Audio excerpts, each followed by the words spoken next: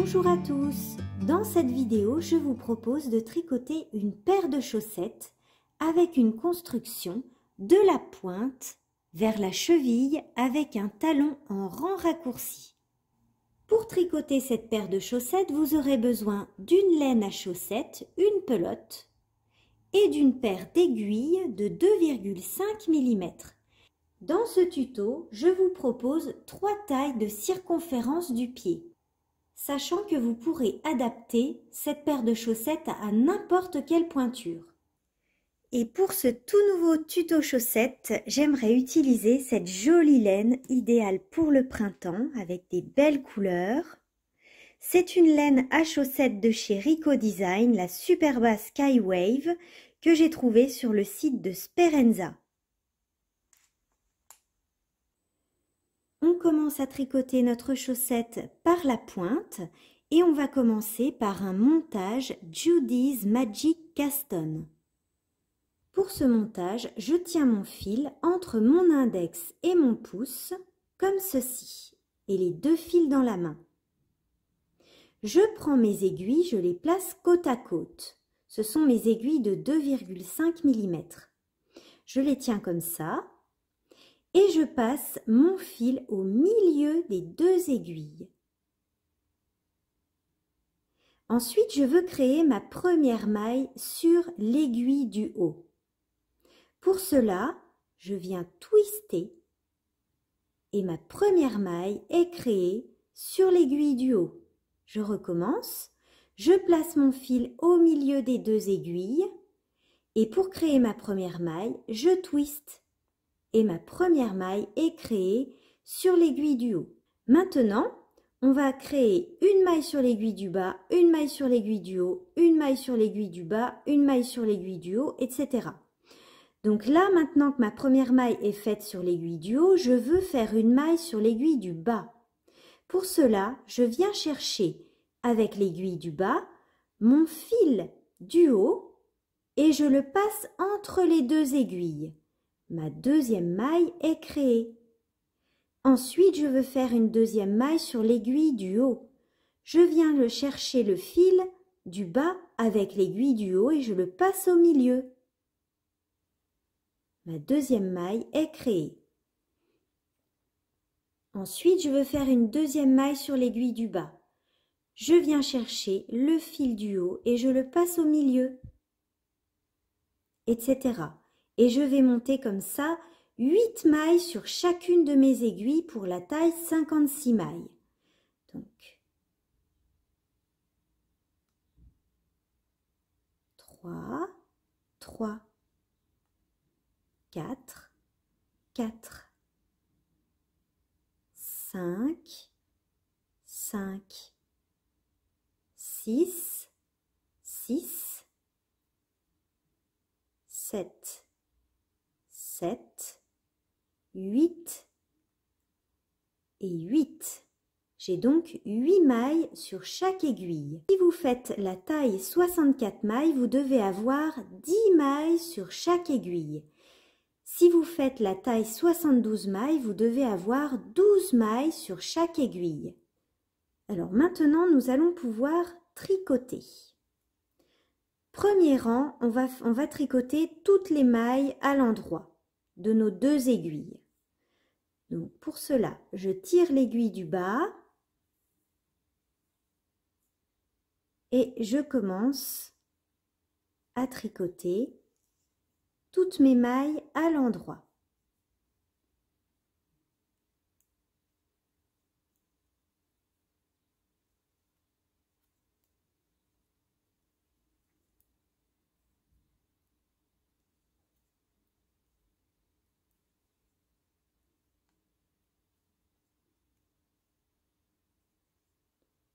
8. Et je fais la même chose avec l'autre aiguille.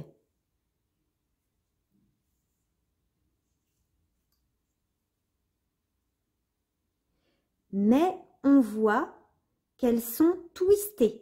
On voit que mes mailles sont twistées, donc je viens les tricoter par le brin arrière pour les remettre à l'endroit. Je les tricote par le brin arrière, seulement sur cette aiguille-là, sur la deuxième aiguille. Donc je tricote toutes mes mailles par le brin arrière pour les détwister. Voilà, mon premier rang est terminé. J'ai donc tricoté toutes mes mailles à l'endroit et voilà ce que ça donne. On a notre début de pointe. Ensuite, on va commencer nos augmentations de la pointe. Rang d'augmentation. Dans ma première maille, je vais faire une augmentation. Je vais tricoter cette maille une fois par le brin avant et une fois par le brin arrière. En fait, je vais créer deux mailles dans une maille et je lâche. Ensuite, je tricote toutes mes mailles à l'endroit. Dans cette maille, je vais faire également une augmentation. Donc je tricote une fois par le brin avant et une fois par le brin arrière.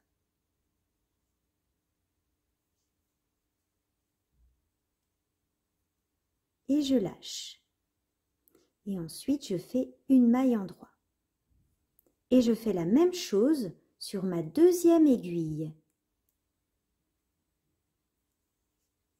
Première maille, une augmentation.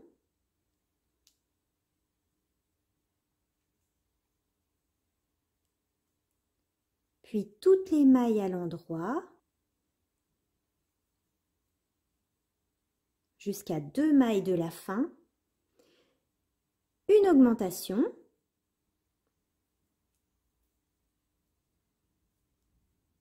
Une maille en droit.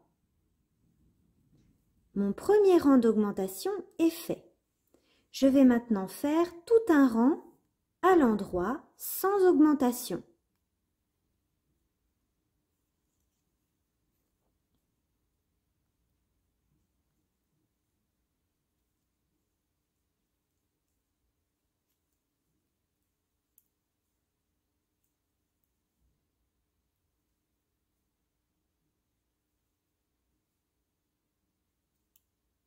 Première aiguille. Ensuite, pareil sur la deuxième aiguille, sans augmentation.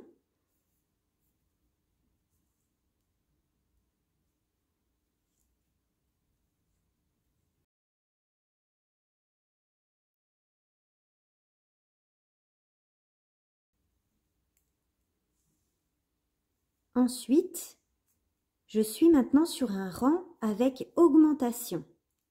Donc, deuxième rang avec augmentation. Sur la première maille, on fait une augmentation par le brin avant, par le brin arrière. Donc on fait deux mailles dans une, je lâche. Je tricote jusqu'à deux mailles de la fin du rang.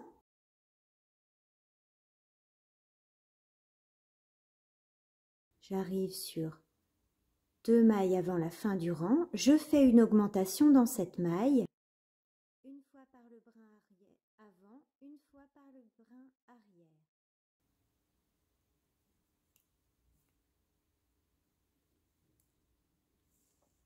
La même chose sur ma deuxième aiguille.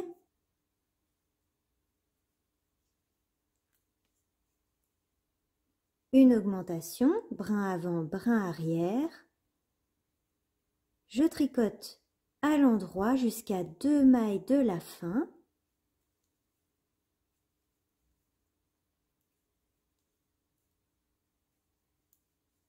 Augmentation dans cette maille, brin avant, brin arrière, une maille en droit. La pointe commence à se former.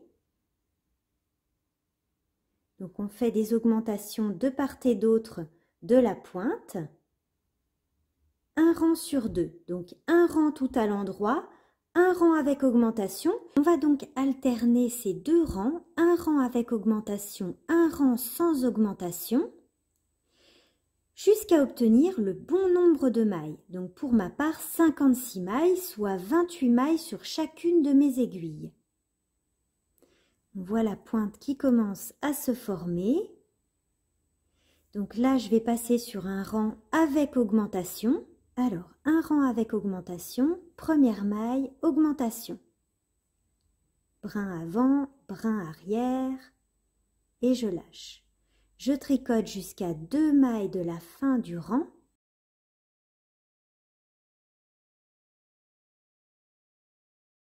Augmentation. Brin avant, brin arrière, et je lâche. Une maille en droit, et pareil sur la deuxième aiguille. Augmentation. Brin avant, brin arrière. Je continue jusqu'à deux mailles de la fin du rang.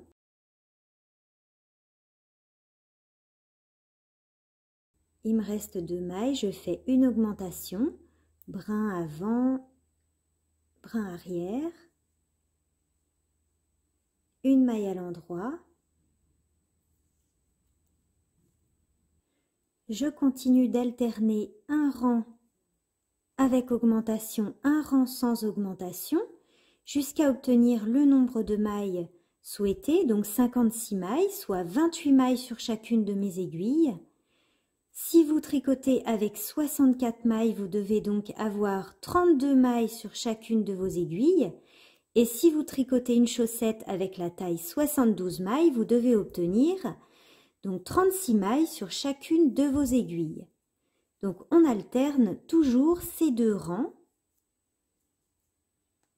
pour créer la pointe de la chaussette. Là on voit bien la petite pointe qui se forme avec les augmentations de chaque côté. Voilà ce qu'on est en train de tricoter, la pointe. Voyez, et si je mets ma chaussette à plat, voilà ce que ça donne. Donc il y a le petit montage qui est ici. Et puis là, on a fait les augmentations. Et arrivé ici, on arrive donc au nombre de mailles souhaitées, donc 56 mailles, ou euh, le nombre de mailles que vous souhaitez tricoter.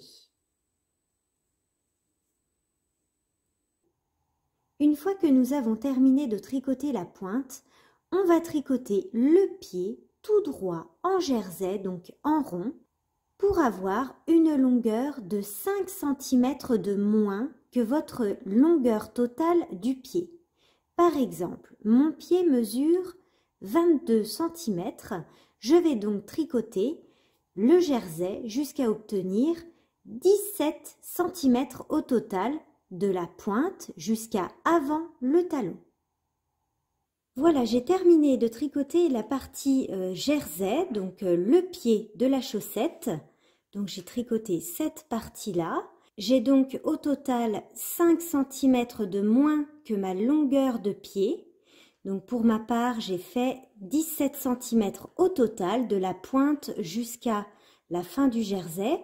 Et nous allons maintenant commencer de tricoter le talon. Pour tricoter le talon, nous allons faire des rangs raccourcis à l'allemande. Donc ce sont des German Short Rows ou GSR. Donc pour tricoter le talon en rang raccourci, on va s'occuper uniquement de la partie arrière de la chaussette.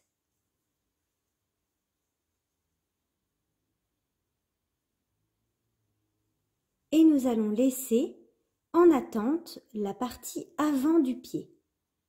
J'ai donc divisé mes mailles en deux parties égales. Donc moi je suis sur 56 mailles. J'ai donc 28 mailles sur chacune de mes aiguilles.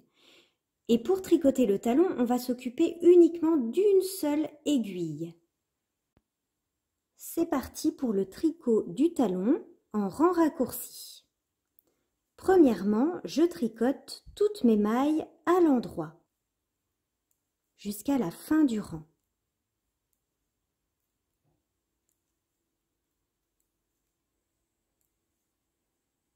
Donc j'arrive à la fin de mon premier rang, on va faire notre première maille double. Donc je tourne.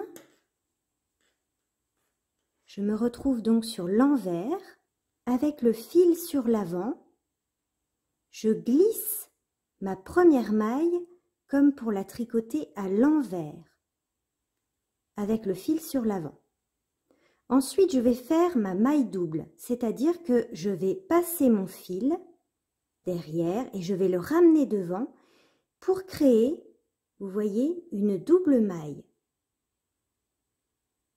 Et je continue à tricoter à l'envers jusqu'à la fin de mon rang.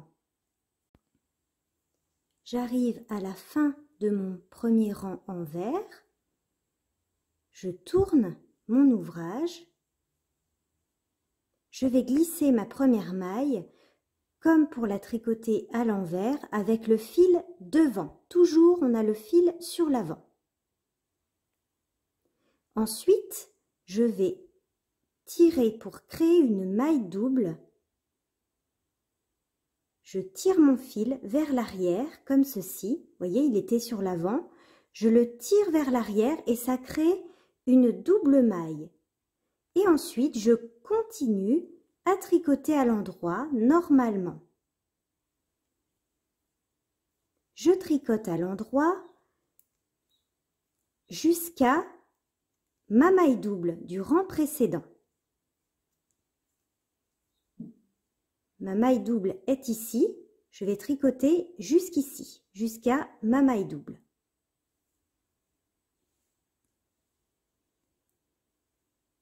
Donc j'arrive au niveau de ma maille double. Encore une.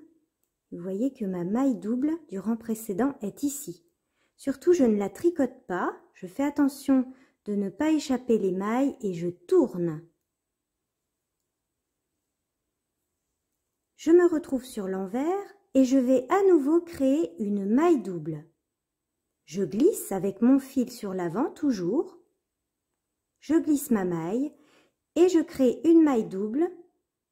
Je ramène mon fil par l'arrière et je le ramène par l'avant, ce qui crée une nouvelle maille double. Et je continue à tricoter sur mon rang envers jusqu'à la maille double du rang précédent.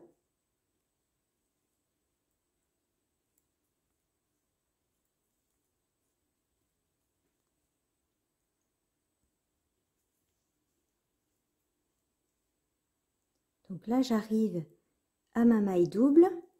Vous voyez, elle est ici. Ma maille double du rang précédent. Donc je tourne et je vais faire à nouveau une maille double. Je passe mon fil à l'avant. Je glisse ma maille comme pour tricoter à l'envers. Et je vais ramener mon fil à l'arrière pour créer une nouvelle maille double. Je ramène le fil à l'arrière comme ceci et je continue à tricoter à l'endroit. Vous voyez que là, nous avons deux mailles doubles. Je continue à tricoter à l'endroit jusqu'à ma prochaine maille double.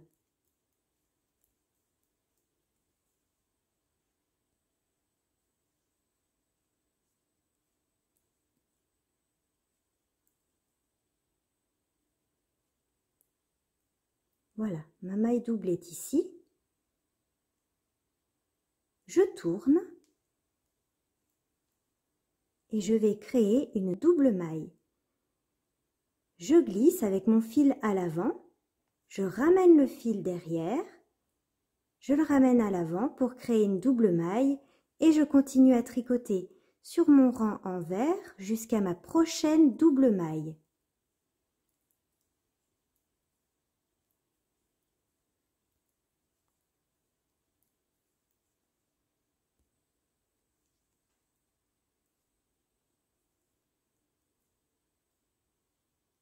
J'arrive au niveau de ma double maille, je tourne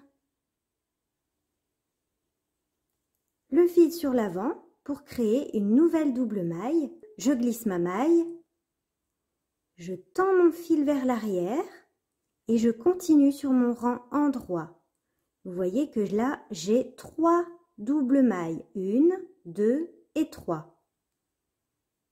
Une, deux et trois.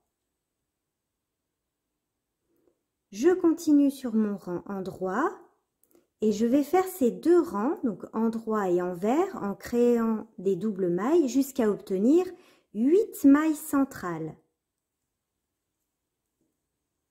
Pour les autres tailles, donc 64 et 72 mailles, vous devez obtenir 10 mailles centrales pour la taille 64 mailles et 12 mailles centrales pour la taille 72 mailles.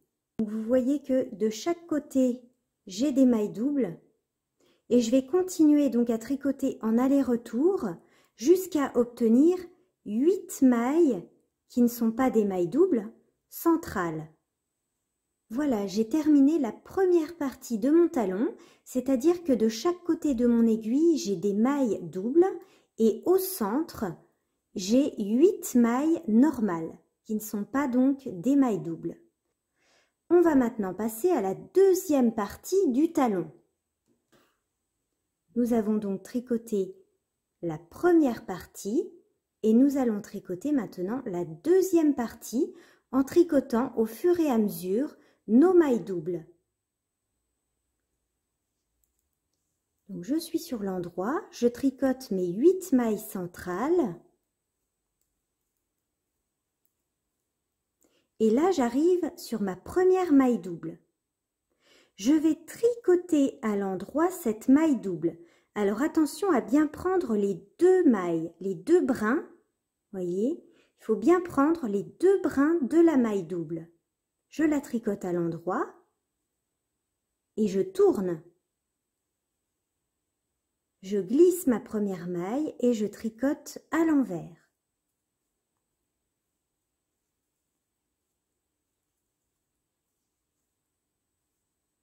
Je continue à tricoter jusqu'à ma maille double. Voilà, j'arrive donc à ma maille double. Je tricote cette maille double, je prends bien les deux brins de la maille, je tricote à l'envers et je tourne. Je glisse cette première maille et je continue à tricoter à l'endroit jusqu'à ma prochaine maille double. Et on va faire comme ça jusqu'à ne plus avoir du tout de maille double sur nos aiguilles.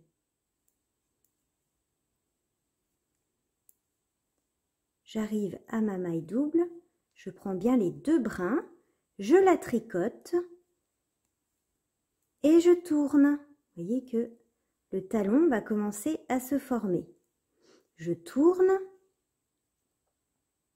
je glisse cette première maille et je tricote à l'envers jusqu'à ma maille double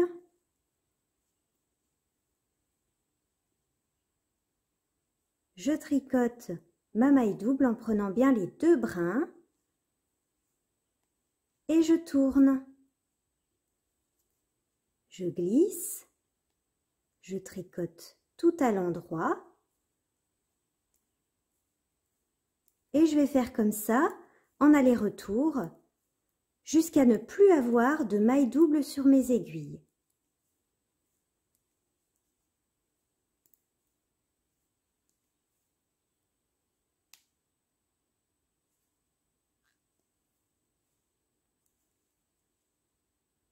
voyez que le talon commence à se former. Je tourne, je glisse, je tricote à l'envers. Vous voyez que le talon se forme. Donc là, on a nos mailles doubles qu'on est en train de tricoter au fur et à mesure des rangs. Là, ici, j'ai mes 8 mailles centrales. Et là, j'ai à nouveau mes mailles doubles que je suis en train de tricoter au fur et à mesure des rangs je vais tricoter ma dernière maille double et voilà mon talon est terminé je n'ai plus de maille double et j'ai retrouvé mes 28 mailles. J'ai donc l'arrière du pied avec mon talon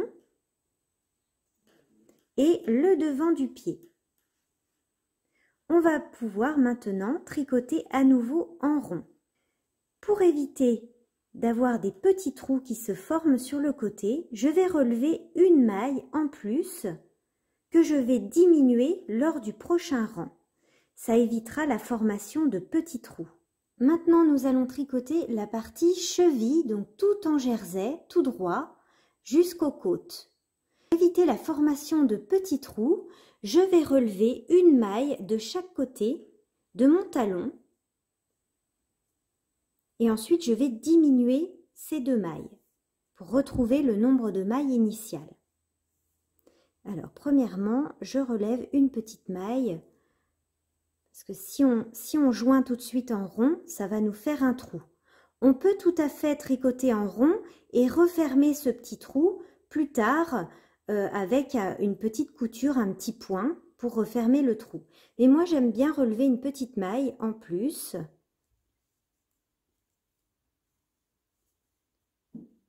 Voilà. Et cette petite maille, je la diminuerai tout à l'heure lors du prochain tour. Donc là, je tricote le devant de ma chaussette.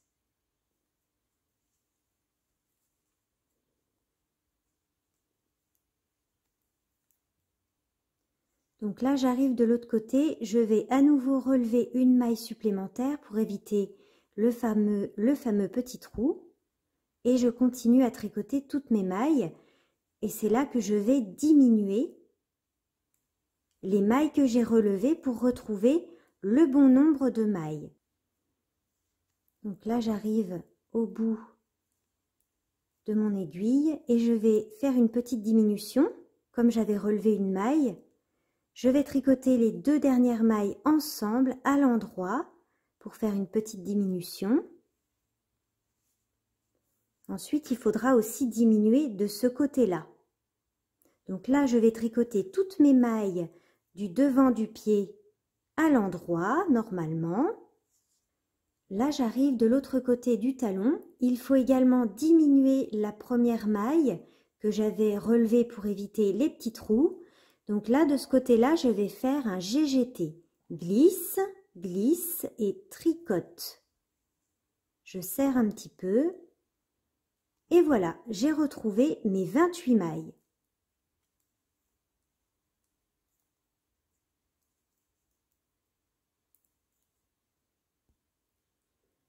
Voilà, notre talon est terminé. Nous allons maintenant tricoter la tige de la chaussette, donc la cheville. Pour ma part, j'ai fait 12 cm en jersey, tout droit, jusqu'aux côtes. Alors, on se retrouve, j'ai terminé de tricoter donc la partie de la tige de ma chaussette tout en jersey et j'ai commencé de tricoter les petites côtes. Donc j'ai fait 12 cm pour la tige en jersey, qui correspond à cette partie-là de ma chaussette. Et là, j'ai commencé à tricoter les côtes de la cheville. Alors, pour cette paire, j'ai choisi de réaliser des côtes 1-1 torse. Et je vais vous montrer comment réaliser ces petites côtes torse. Mais vous pouvez tout à fait réaliser les côtes que vous souhaitez. Des côtes 1-1 classiques, des côtes 2-2, vous faites vraiment ce que vous voulez.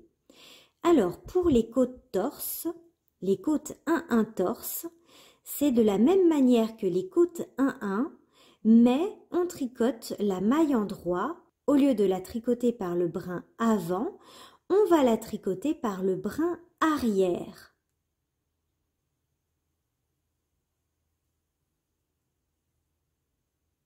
Et la maille en vert, on la tricote normalement endroit par le brin arrière, ce qui va twister la maille et ça va la faire ressortir en relief.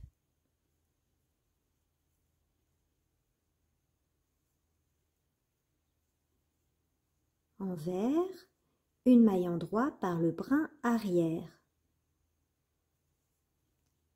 Une maille envers, etc. Et on fait tous les rangs de cette manière. Vous faites la hauteur que vous souhaitez et puis ensuite on va se retrouver pour le rabat.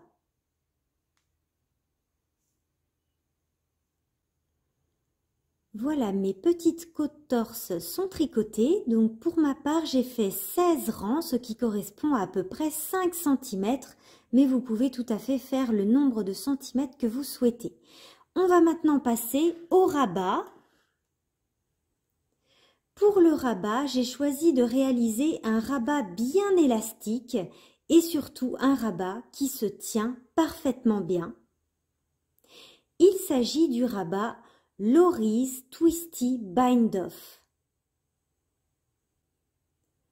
Pour ce rabat, donc le Lori's Twisty Bind Off, vous allez voir qu'on va rabattre de façon classique, sauf qu'on va twister, on va tourner notre aiguille avant de tricoter chacune de nos mailles. Donc la première maille est une maille en droit. Je la tricote normalement à l'endroit. Et ma deuxième maille est une maille en vert. Avant de la tricoter, je vais tourner mon aiguille dans le sens inverse des aiguilles d'une montre.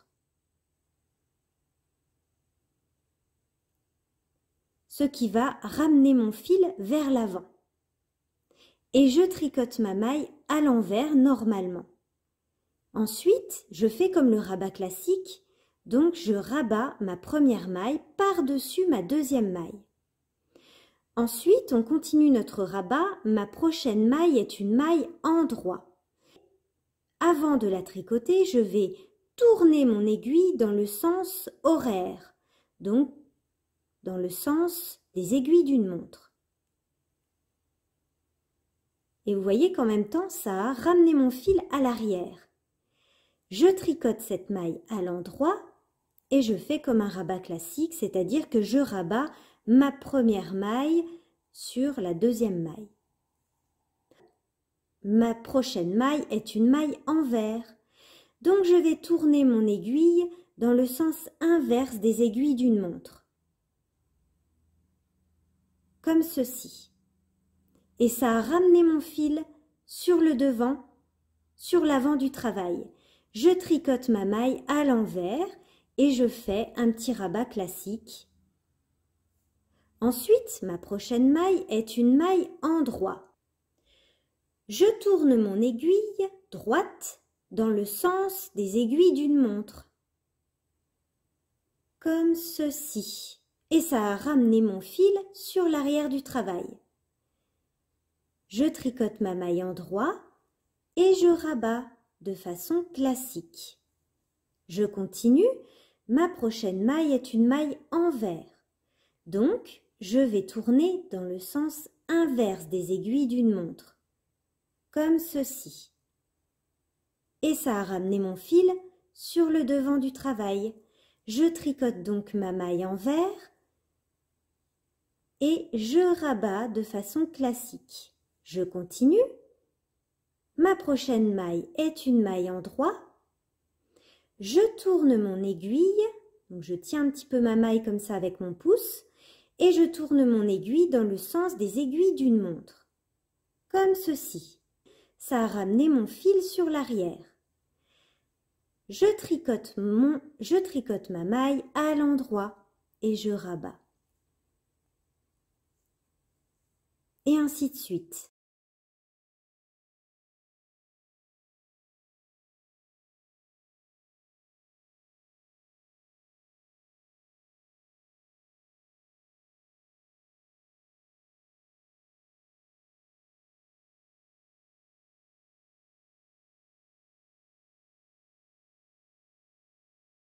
Et je continue. Maille en droit, on tourne dans le sens des aiguilles d'une montre hop, je tricote et je rabats. Et vous voyez que le rabat commence à se former.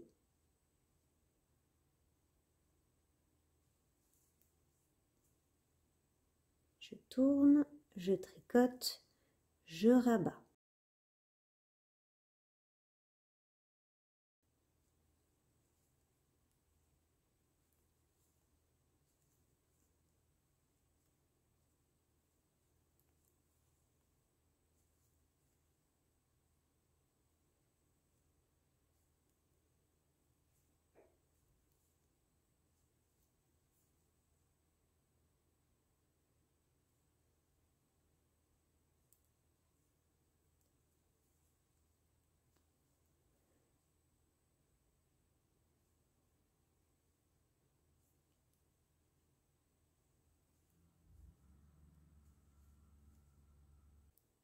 Et vous voyez, le rabat commence à se former.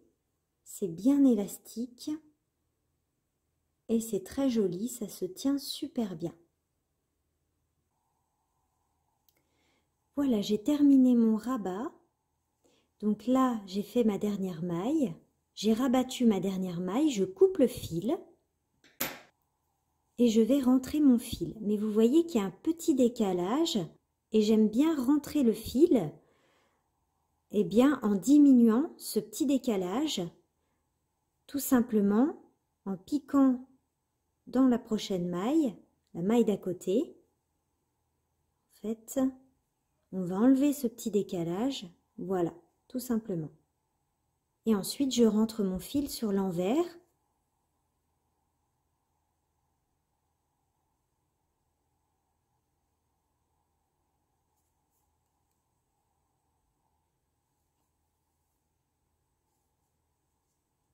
voyez qu'il n'y a plus du tout ce fameux décalage. Et c'est totalement invisible sur l'endroit.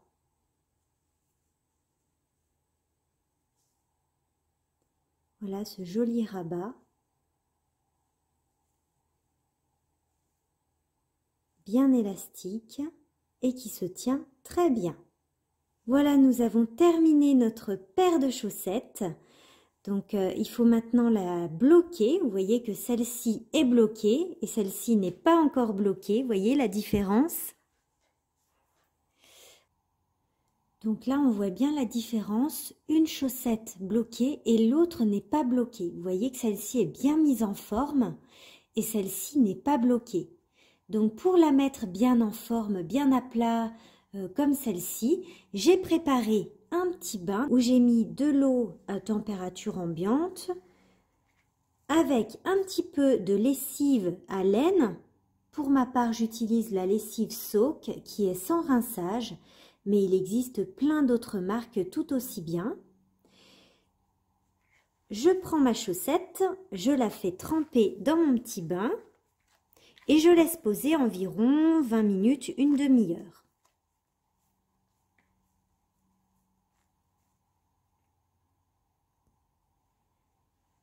J'ai essoré ma chaussette dans une serviette. Ensuite, je viens la poser bien à plat sur ma serviette et je vais lisser les mailles avec mes doigts.